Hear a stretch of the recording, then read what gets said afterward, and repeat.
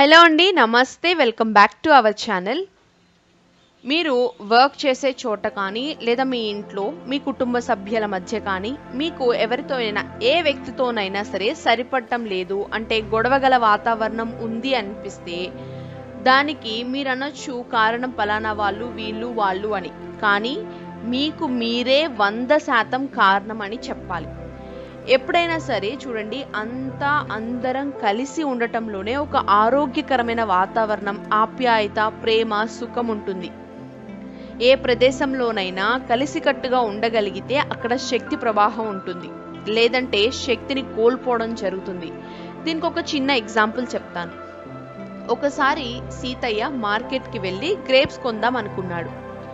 సీతయ్య ఆ ద్రాక్ష పళ్ళు అమ్మే వ్యక్తితో బాబు ఈ ద్రాక్ష పళ్ళు ఎంత? అన్నాడు. అతను ఎనభై రూపాయలు కేజీ సార్ అన్నాడు. ఆ పక్కనే విడివిడిగా ఉన్న కొన్ని ద్రాక్ష పళ్ళని చూసి సీతయ్య వీటి ఖరీదెంత అని అడిగాడు. అప్పుడు అతను ముప్పై రూపాయలు కేజీ అన్నాడు. ఇంత తక్కువ? అన్నాడు సీతయ్య. అవును సార్ ఇవి మంచివే కాకపోతే ఇవి ద్రాక్ష గుత్తి నుండి విడిపోయాయి అందుకే అంత తక్కువ రేట్ సార్ అన్నాడు. అదే విధంగా మనమైనా సరే అంతా కలిసి ఉంటేనే విలువ విడిపోతే విలువ అనేది ఉండదు. అయితే మీరు అనొచ్చు నా తప్పు లేకున్నా సరే నా చుట్టూ ఉన్న వాళ్ళ నుండి నాకు వ్యతిరేకత గొడవల గల వాతావరణం ఉంటుంది అని. అయితే అది తప్పండి. ఒకటి జరిగిందంటే దానికి ఒక కారణం ఉంటుంది. ఆ కారణం చేతనే ప్రభావం అనేది కనిపిస్తుంది. ఇదే nature's లాలోని law of cause and effect చెప్తుంది. ప్రతి ప్రభావానికి ఒక కారణం ఉంటుంది. ప్రతి కారణానికి ఖచ్చితమైన ప్రభావం ఉంటుంది. కాబట్టి మిమ్మల్ని మీరు ఒక్కసారి గమనించుకోండి మీ అంతరంగాన్ని పరీక్షించుకోండి. ఈ ప్రపంచంలో ఏ వ్యక్తి నుంచైనా మీకు ప్రతికూల సంకేతాలు లేదా ప్రతికూల వాతావరణం కలుగుతుంది అంటే అది బయట వ్యక్తి నుంచి రాదు రానే రాదు. ఆ ప్రభావానికి కారణం మీలోనే ఉంది. మీలో లేనిది బయట కనిపించదు. ఎందుకంటే మీరు విశ్వానికి భిన్నంగా లేరు కాబట్టి. మీరు విశ్వంలోని భాగం కాబట్టి. ఎలా అయితే ఒక బెలూన్ని ఊదినప్పుడు బెలూన్ లోపల ఏముంటుందో బెలూన్ బయట కూడా అదే ఉంటుంది. సో మీలో ఏముందో అదే విశ్వంలోనూ ఉంది కాబట్టి బయట దేన్ని అలాగే ఎవరిని మార్చడానికి ప్రయత్నించొద్దు. మీకు కనిపించేదంతా కూడా మీ మిర్రర్ ఇమేజే. మీతో ఏ వ్యక్తి అయినా సరే సరిగ్గా లేరు అంటే అది మీ నుంచి ప్రసరించబడిన మీ యొక్క మిర్రర్ ఇమేజే మీలోని ప్రేమతత్వ లోపమే మీకు అలా కనిపిస్తుంది. సో మీకు కనుక ఈ ప్రపంచంలో ఏ వ్యక్తి నుంచైనా సరే మీకు ప్రతికూల వాతావరణం ఏర్పడుతున్నట్లయితే ఇప్పుడు మీకు ఏ వ్యక్తి నుంచి అయితే ప్రతికూల వాతావరణాన్ని ఎదుర్కొంటున్నారో ఆ వ్యక్తి పట్ల మీకు ఆల్రెడీ గూడు కట్టుకున్నటువంటి ప్రతికూల భావనల వల్లనే ఈరోజు మీరు ఈ ప్రతికూల వాతావరణాన్ని ఎక్స్పీరియన్స్ చేస్తున్నారని మీకే అర్థమవుతుంది. మీరు పంపిన బాణమే మీకు గుచ్చుకుంటుంది అని మీకు అర్థమవుతుంది.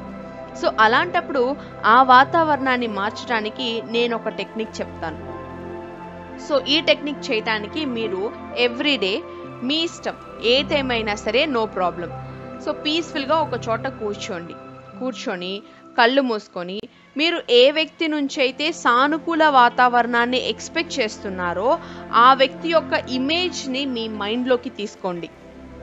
వారి పట్ల మీ నుండి ప్రేమని ట్రాన్స్ఫర్ చేస్తున్నట్లు మీరు విజువలైజ్ చేయండి. మీ నుంచి ప్రేమతత్వంతో కూడినటువంటి ఒక గ్రీన్ కలర్ లైట్ని మీరు వారి వైపుగా ప్రసరింపజేస్తున్నట్లుగా మీరు విజువలైజ్ చేయండి.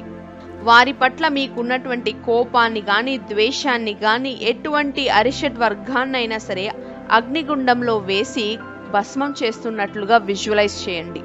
ఆ వ్యక్తి మీరు హ్యాపీగా నవ్వుతూ మాట్లాడుకుంటున్న ఒక సీన్ని ఇమాజిన్ చేసుకోండి. బిలీవ్ మీ నేను మీకు బెట్ చేస్తున్నాను. మీరు అలా చేసిన just one or two days or even maximum three days అంతే. ఆ వ్యక్తి నుంచి మీకు అనుకోని రీతిలో ఒక పాజిటివ్ రెస్పాన్స్ని పాజిటివ్ వాతావరణాన్ని మీరు చూస్తారు. వారి పట్ల మీకు ఎటువంటి కోపము ద్వేషము ఏ ఫీలింగ్ ఉన్నా సరే వాటిని ప్రేమతో రీప్లేస్ చేయండి. బిలీవ్ మీ ఇలా మీరు కనుక చేసినట్లయితే మీకు పాజిటివ్ వైబ్రేషన్స్ అనేది వారి నుంచి మీకు కనిపిస్తాయి.